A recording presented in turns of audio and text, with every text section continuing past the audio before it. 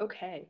Hello and welcome. My name is Liz Stewart. I am president of the New Jersey Shade Tree Federation, but really I'm just a student of trees and um, a licensed tree expert, but I am a student of trees. That's really what it comes down to. And I'm here with Pam Zipse.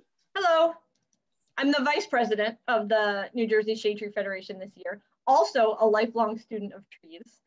And we're, uh, I guess, we're supposed to do a little bio, right? Is that what you did? Yeah, or? what do you do? so I work for the Rutgers Urban Forestry Program as the outreach coordinator. And so I, I partner with you know, the New Jersey Forest Service and other you know, agencies within New Jersey to kind of connect what Rutgers is doing to what the Forest Service is doing and to all of the volunteers in the communities that are uh, working on managing their tree resource. So I try to bring all those things together. So Pam is a really good person to know. Thank you. That's a kind thing to say. it's true. It's true. Um, so we were going to do just a little like back and forth of Q and A, get to know us.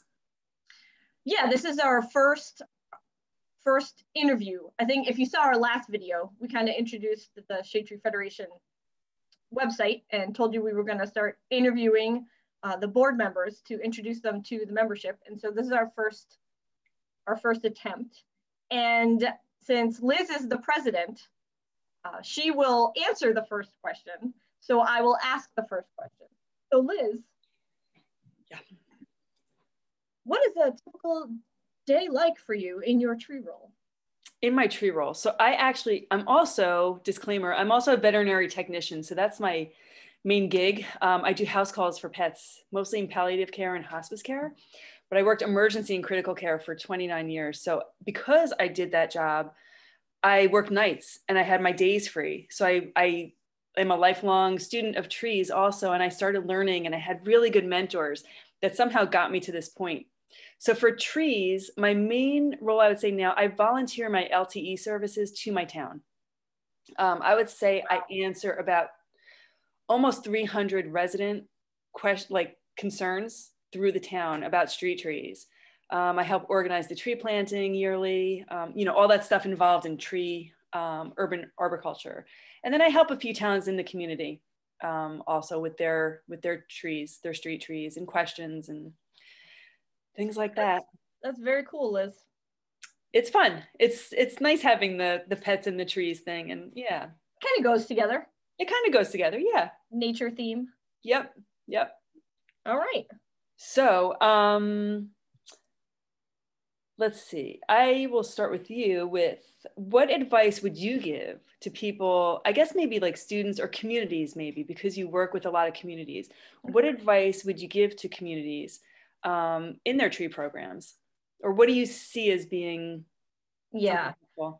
So my my favorite advice is don't give up.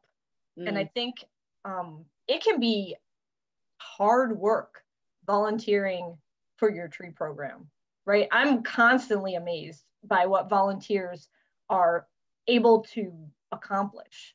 Like even what you're doing, you you got your licensed tree expert license and you you volunteer with that. And that's amazing. And I'm always just constantly amazed by what volunteers are able to do.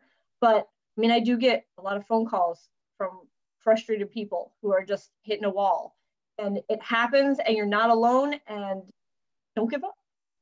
Yeah. Amazing things are coming. That's that's uh that's my favorite piece of advice is that you're doing amazing things and and keep keep trying. That's great to hear actually because um it is it's a lot of work. I don't I don't know sometimes I don't know why I do but then I think about it's important to have trees in our communities.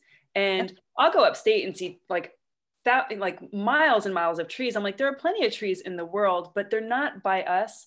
Actually, this morning I just read um, a study. I think it was I don't know if it was Germany, how important street trees are in our community, and the, and how it reduces um, the need for people to take anxiety anti-anxiety medication. Like, yeah. I mean, it's important. So that's what keeps me going. And I have really good people on our shade tree commission um, Jennifer, who's on it with me, she does all the finances. I mean, and she answers all the phone calls and then and then put gives them to me. and then I'll put them out to, you know, and our other members have all their little roles. So we all do something. Yeah. But all our combined volunteer hours come out to save the town a whole like a hired position. It's amazing. It's It's, amazing. amazing. what what Shade Tree Commission volunteers are doing throughout the state. Yeah. It's really inspiring. Yeah. And then it's fun. I get to connect with industry people and even like the utilities and prof- other professionals. And Mhm. um, there's a really good community of people. So All right. Yeah. Very cool.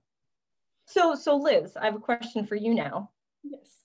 Um, what is your favorite resource? Like where do you like to go for information about trees? Um, that's a good question. Um, I I go to my mentors. Um, there are a lot of publications. Google Google can be good for that. Actually, I don't think Google is great for pet advice. it makes me panic.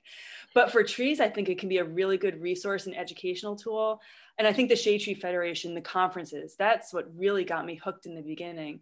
But my mentors, uh, I mean, they're just such a good base of knowledge. Um, um, I think we'll meet some of both of our mentors in these future interviews. Yes, I think Paul imagine. Cowie's coming up. He's one of my big ones. Bill Comrie, who's a standard in the industry. Ted Szczawinski, um, who does a lot of education. Um, and then just people through Rutgers and people like yourself. You know, when I've seen you talk, it's just all of those people. It's it's inspiring. It is. And the, the community, and thank you again for your kind words. Yeah. But the community, like I remember, Liz, I remember you and I met at core training like 20 years ago. Yes. when I was new at the Forest Service teaching core training, and you and Jen and your Tree Commission were taking core training. I remember meeting you there and and being so like excited by the energy of the community that you can build by attending those conferences and, and getting that education and talking to mentors. So that's Yeah. really Yeah, and there's actually an urban forestry course by uh, Kuser. Um, Yep.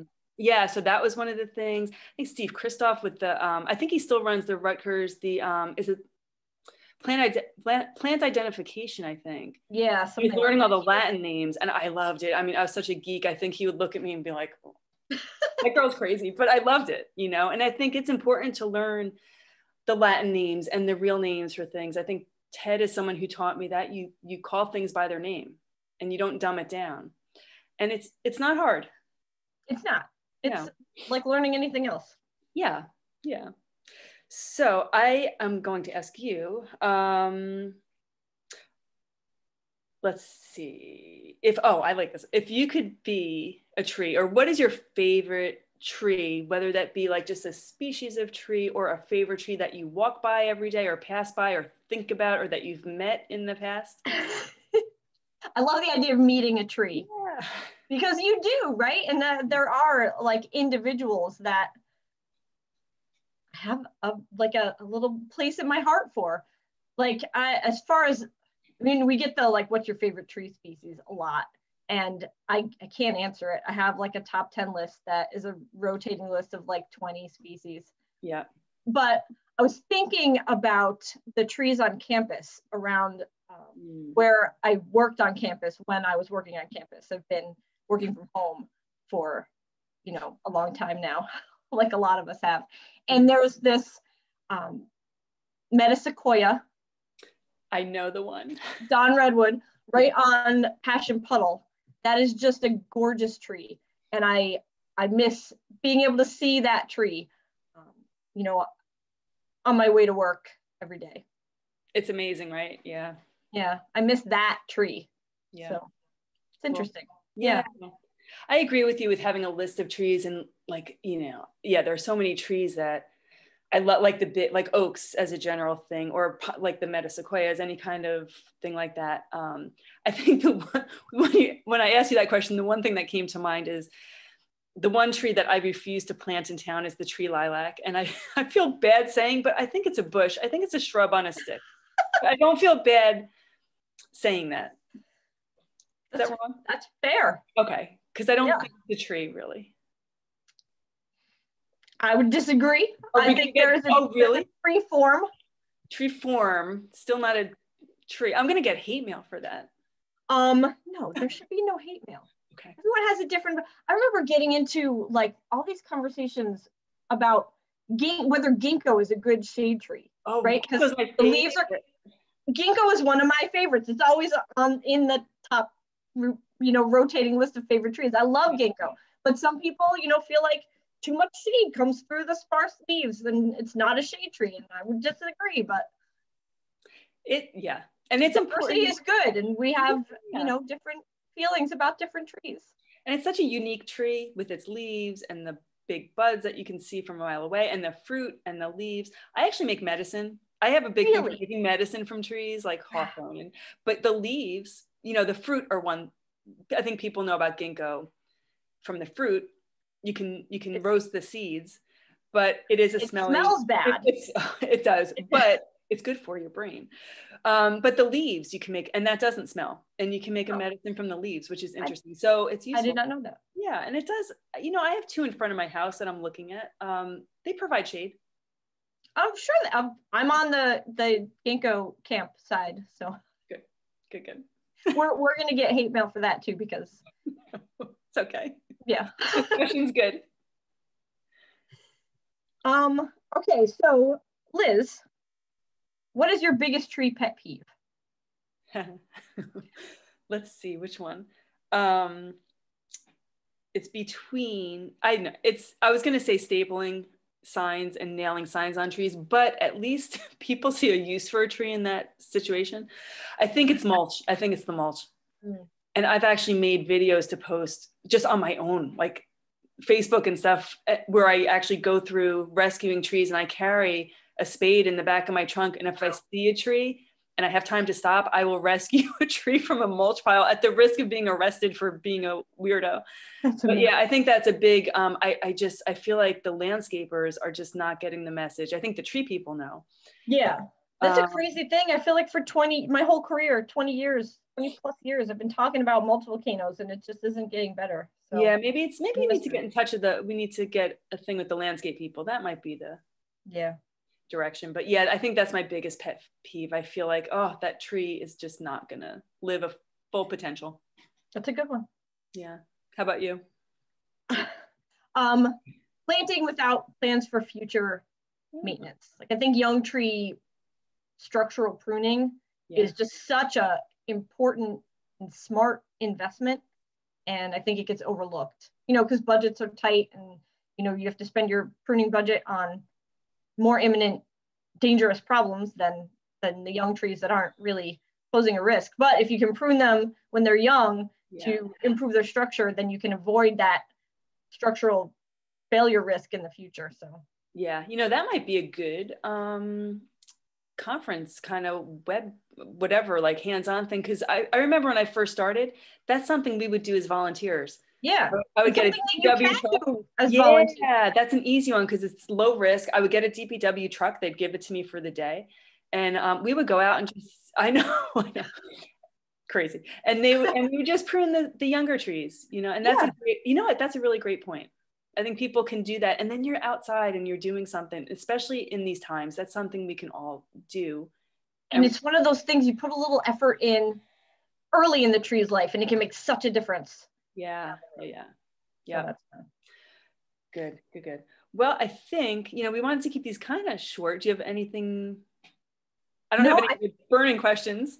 I don't. I don't. I think that you know this has been fun, and we could probably keep chatting for a long time, but and no one will want to watch these, so we should wrap it up. So to be continued.